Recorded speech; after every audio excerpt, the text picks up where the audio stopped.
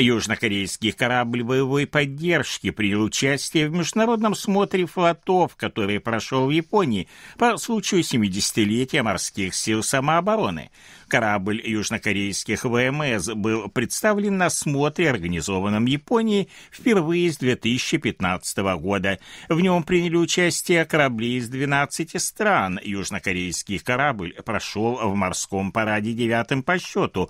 Его экипаж, как и моряки других кораблей, отдали честь, проплывая перед японским эскадренным миноносцем, вертолетоносцем Идзума, на борту которого находились премьер-министр Японии Фумио Кисида Исида и высокие зарубежные гости, в том числе командующий военно-морскими силами Республики Корея адмирал Ли Джон Хо.